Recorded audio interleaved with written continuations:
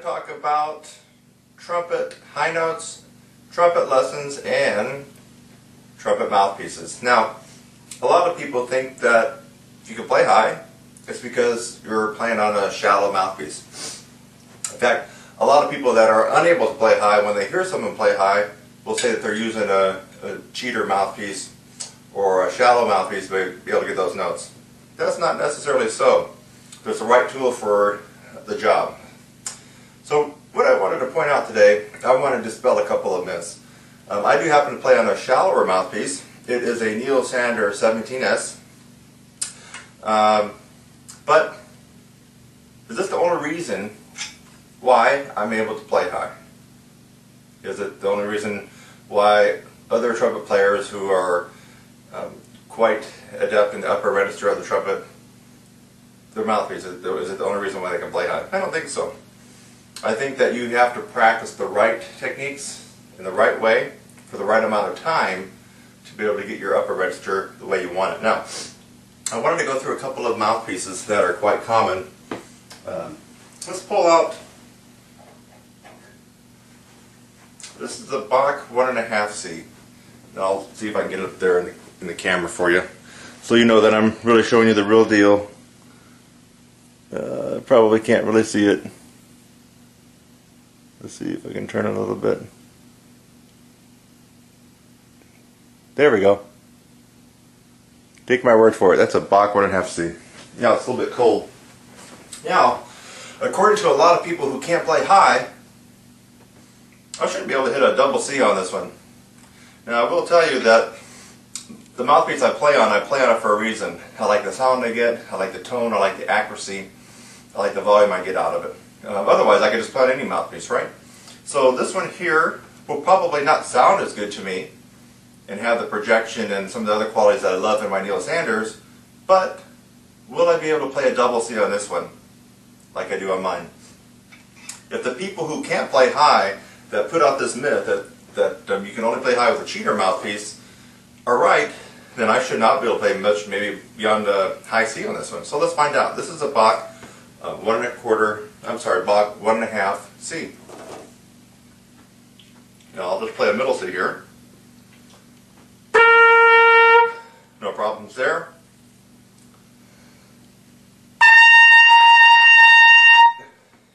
Does seem a little bit harder than mine.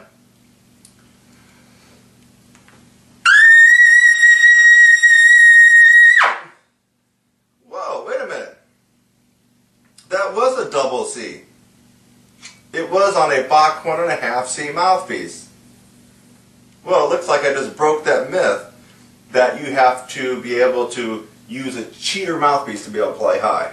Now there's a lot of people that play on this one, a lot of symphonic players um, that uh, poo-poo high notes. So they play on this one. Uh, they don't really have to play much more than a high C or a high D in their symphonic and orchestral works, even the professional trumpet players I'm talking about in major symphony orchestras. This is one of their favorite mouthpieces right here. Um, would I use this on a regular job or a gig for um, playing Maynard stuff, um, playing lead? No, I wouldn't, because um, this makes life more difficult. But you heard it right here, folks. I played a double C on this Bach one and a half mouthpiece. See if I can show you it again.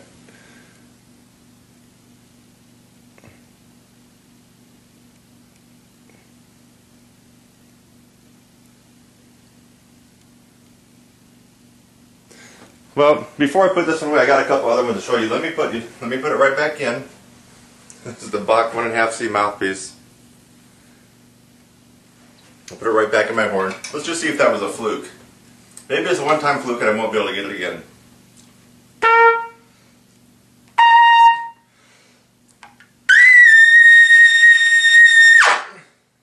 Nope, it wasn't a fluke. I am able to play high on a Bach one and a half mouthpiece. Let's set that one aside. Now, what is the most common trumpet mouthpiece in all the world? If you answered a 7C, you are correct. I'm going to see what happens when we get out the 7C.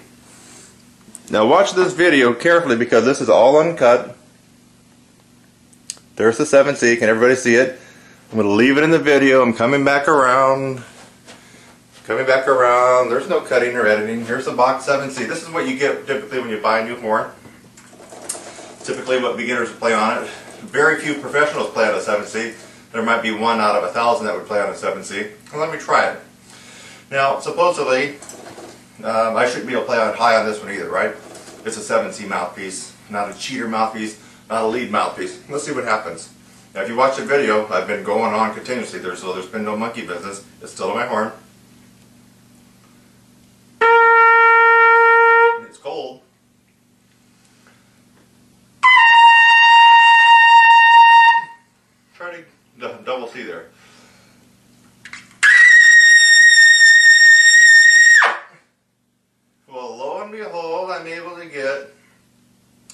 C on this 7C mouthpiece. Shouldn't be able to do that, should I? According to the people who can't play high and who use typically the larger mouthpieces, I shouldn't be able to play high on that, should I? Okay, so I played on a Bach 1.5 C, played a double C. I played on a Bach 7C, played a double C. Let's get out just a couple more. This one here is this is a Bach 10.5C. Now this is the mouthpiece that a lot of classical players um, who really can't play high will, will actually use in their piccolo. See if I can show it to you. Sorry, it's not coming in clear. There you go. You can see it's there. That's the Bach 10.5C. I'll leave it in the frame so you can see me put it right on my horn. This is the one that a lot of classical players, professional, principal, symphonic players all across the country, the major metropolitan um, symphony orchestras will pop this in when they got to play something high, or they'll put it in their piccolo. And then they go back to their one and a half C. They'll put the Bach two and a half C in. It's cold. Let me warm it up.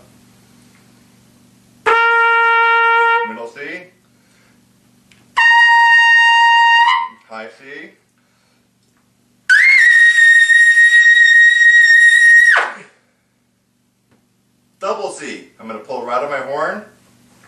You saw exactly what I was playing on. This is no trick photography here. It's a Bach 10.5 C. Oh, what is this? This is a Bach 12. Bach 12C. We'll try that one. I've actually never played on a 12C before. I borrowed a couple of these mouthpieces just for this demonstration. A Bach 12C, I have no idea how I would play this one. It is probably a little bit more smaller than the 10.5C, I'm guessing. Middle C. High C.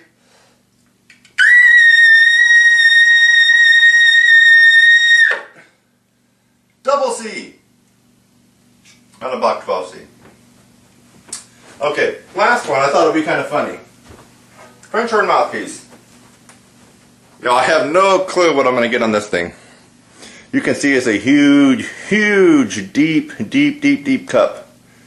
French horn mouthpiece. What, what is it here? It's 11. It's a Vincent Bach 11. French horn mouthpiece. So I still have it here. Let me put it in my horn. Of course, you know, it won't fit properly. But it's in there. Let's just see what I give this. It's not going to sound pretty. It's going to be out of tune probably swim around. But it's a French horn mouthpiece. Um, I really shouldn't be able to play too high on it. Most French horn players can't play too high, so let's see what will happen. Definitely a different tone, a lot warmer. High C now. Real muffled. It's probably going to be very difficult to get the double C out.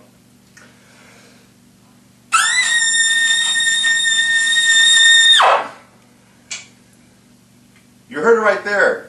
Got a double C on a French horn mouthpiece in my trumpet. So, let's go back to my mouthpiece. Neil Sanders, 17S.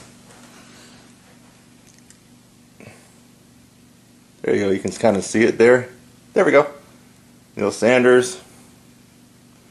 You can tell it's beat up. This is the very mouthpiece that I played Gabriel, Gabriel Maynard Ferguson's Gabriel on. Uh, quite a number of years ago. So if you happen to see my video doing that one, um, or hear it somewhere. This is the same mouthpiece I used for that one. Now let's go back. You're going to notice that I can, of course, still play the high note. It's just going to have more of a punch, more power. That's your middle C. Here's your high C.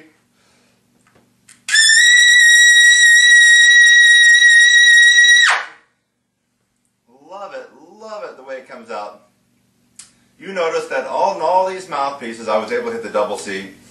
All of us have different dental structure, different facial features up here, and therefore what what works for somebody, for example, this works for me, might not work for you. And that's why I would definitely recommend, and I recommend all my students to spend some time going through different mouthpieces and making sure that mouthpiece is uh, appropriate for what you do. This mouthpiece may not be the perfect mouthpiece for a symphonic player, but it shouldn't be the reason a symphonic player would say that they can't play high because they need a cheater mouthpiece. I've just broken that myth right here. You heard me play a double C on a Bach one and a half mouthpiece. You've heard me play, uh, that's a one and a half C mouthpiece. You heard me play a double C on a Bach 7C mouthpiece. That's the standard mouthpiece that every little kid gets uh, when they take their horn right out of the case for the first time. So, what can we learn from this? You, first of all, you need to be taking lessons from someone like myself, or you got to take lessons from somebody who already can do what you want to do. That's number one. Number two, put the notion of mouthpieces allowing you to play high out of your head and actually do the real trumpet work. What does that mean? You actually got to practice. And you got to practice the right stuff in the right amounts. That's what we learned today. You don't need a cheater mouthpiece to play high. You should be able to play high on any mouthpiece you pick up. I just proved it here. You know, I want you to go to trumpetsizzle.com. That's www.trumpetsizzle.com. I have an array of uh, trumpet video lessons. Um, my main job is teaching trumpet from beginners all the way up to advanced and professionals. Yes, I do have a couple of professionals from time to time that come in that want to learn how to improve their range. Always remember, it takes about 5,000 hours of concentrated practice from beginning, whether you started in fifth grade or if you're starting as an adult, doesn't matter, log those hours in. It takes about 5,000 hours just to reach the very bottom of the professional caliber trumpet player. So if you're wondering where you're at or why you're not where you want to be, think about how many hours you've logged in since you be begin playing. And if it's not 5,000, chances are you need to put in some more practice time. And, I'll repeat it again, you got to get with the right teacher. In fact, let me just bring that up before we close it. You know, if you go to Google and you type in trumpet lessons, you're going to see uh, quite a variety of people on there, including myself. I come on page two right now. I'm trying to get on page one. But you want to get with a trumpet instructor who not only can tell you how to play high, show you how to play high, but actually has been out there in front of an audience with different bands playing uh, upper register trumpet music. Anyway, what I've noticed is that a lot of these trumpet players that you know, you're going to find that pop up on Google on page one right away, uh, if you try to search their name and find out what they've done, what they played, um, some of them you can't even find a live video of them playing. But their, their marketing is really good. So I would just caution you that as you're looking for someone to help you out with your uh, trumpet lessons and improving high range and everything else, you want to get for, with somebody who can actually play the trumpet, play the way you want to play, and has actually proved it with bands and other live audiences. Go to trumpetsizzle.com. See you there.